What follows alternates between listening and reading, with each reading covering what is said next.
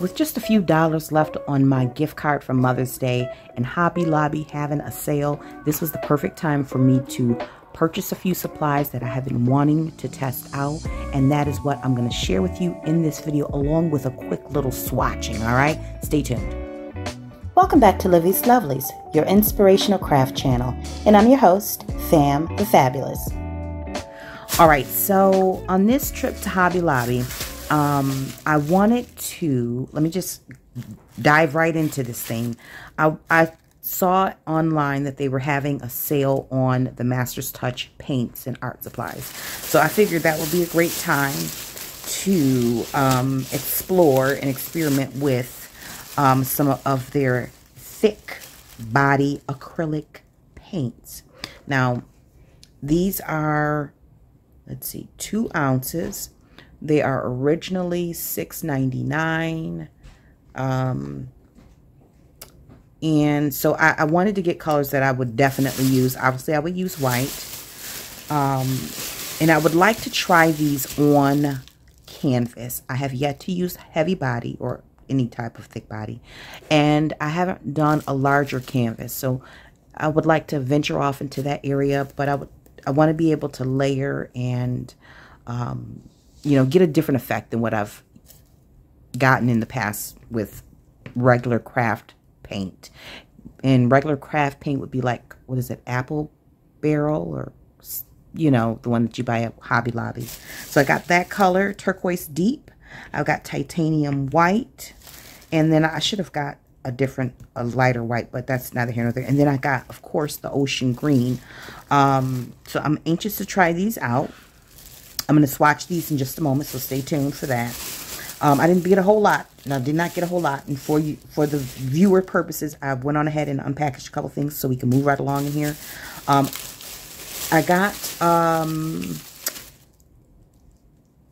a number three micron and a number, another number five, one that I could put in my travel bag. Um, I have one on my desk, but I needed another one. These are already unpackaged at this point. And they were also having a good sale on their brushes. Now, I, because of my desire to sketch and wash, I think they call it line and wash, watercolor, I wanted to get the smaller, you know, the, the tiny, cute little for detail work. Now, granted, I am nowhere near in that uh, you know, I don't have that kind of experience where I should be even considering uh, detail work because I'm having a hard time with like squares and circles. Um, but, you know, if I have, you know, if, if I can get it and move it off to the side for future use, then that's what we'll do. You know, that that's what we're going to do. And at some point in the near future, these will come in handy. I will have them. Um, now, this one is an angular, it's an angular shader. It's a number four. And again, this is Master's Touch Fine Art Studio. And then this one is an angular shader. Number 12. Why does it have 12 and a zero over? Either way. But these are tiny. Look how tiny it is. It's, uh, this one is six and a quarter inches. And then this one is only five inches. Five inches, yeah. So tiny. So tiny. Okay, and then, uh, believe it or not, let me show you what I picked up. This thing got nothing, well, it does, because it's from Hobby Lobby, but they had these on sale at the checkout, you know, the impulse shopping um, area. Some little filigree earrings. I thought these were lovely. I believe these are rose gold. I believe that they are.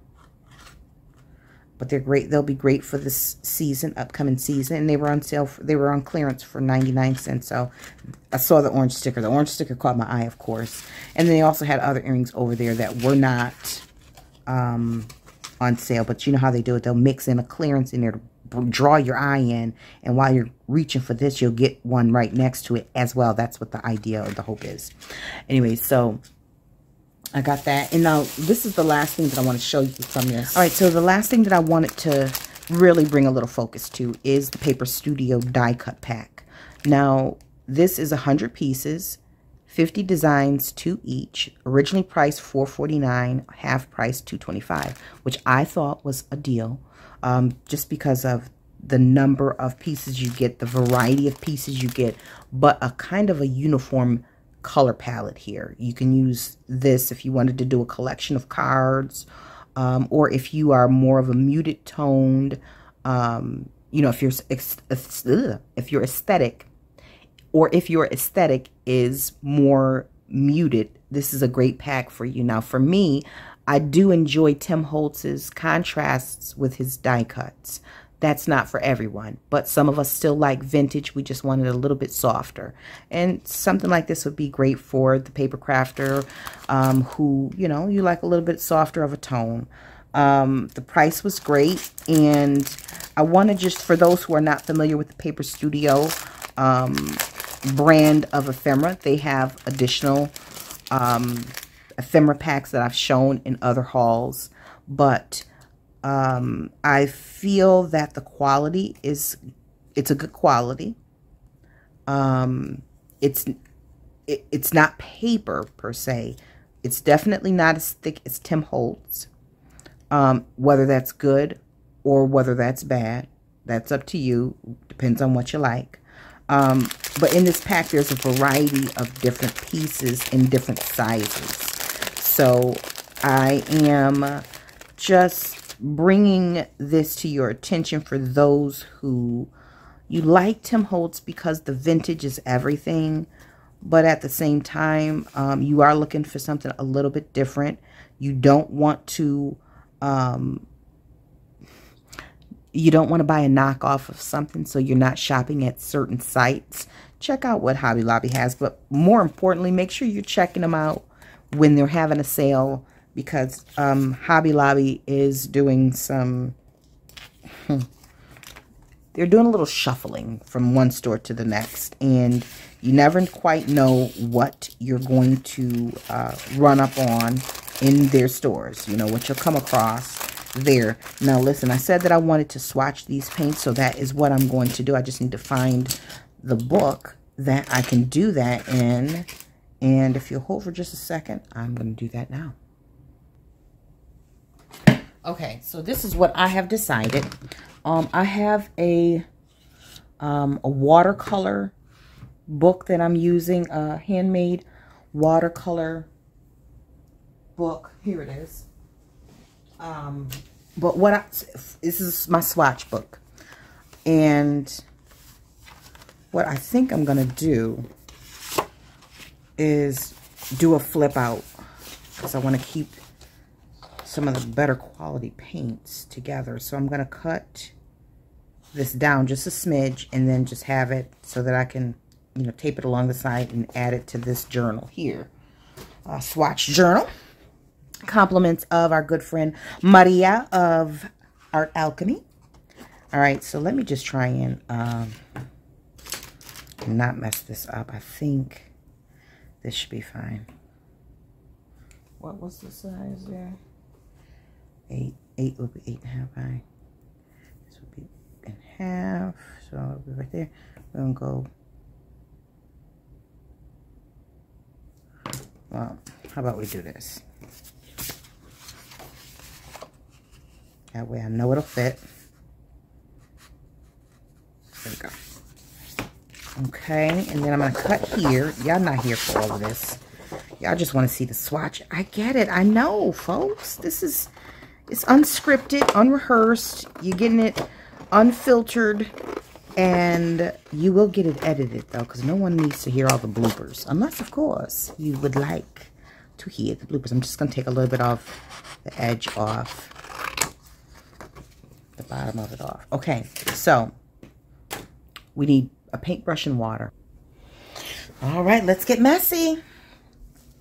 Okay, I've got some water, paper towel, and I got a wider brush because, like, who and why are we testing paint and we can't see the paint?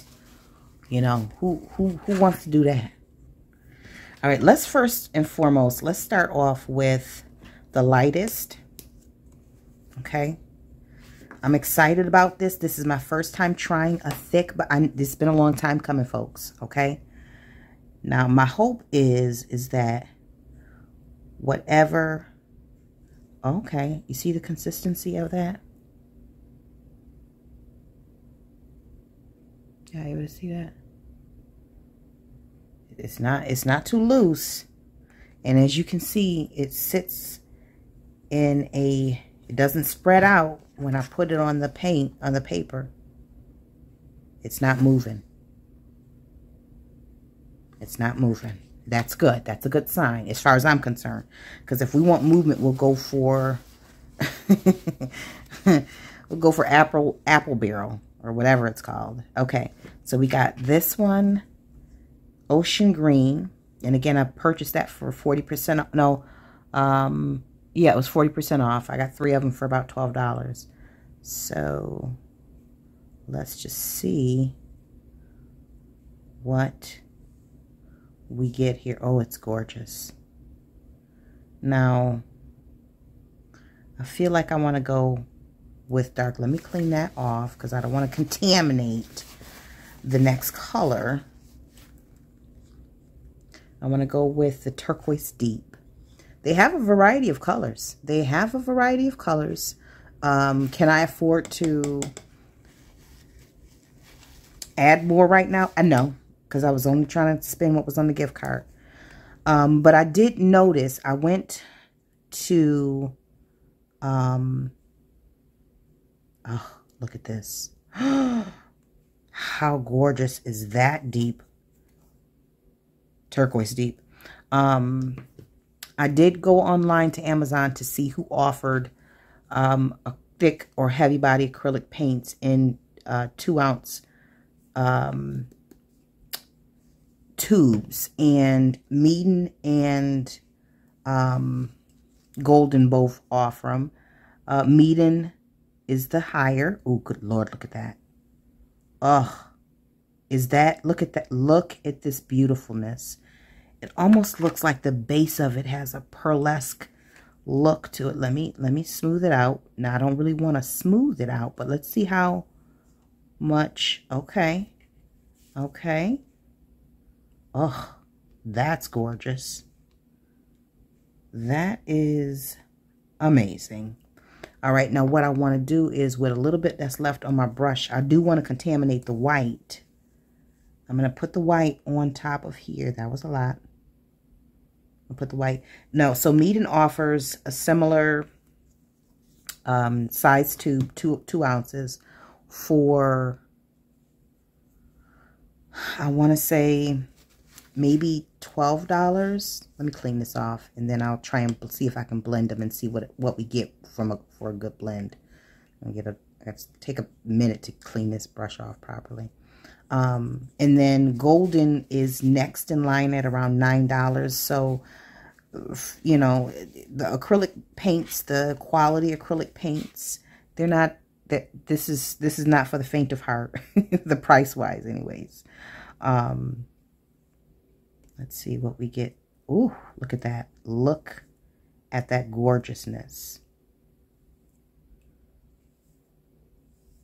Now, in a minute, we, we know what white is given. If we see the consistency of the colors here, then we have an idea of what the white is doing.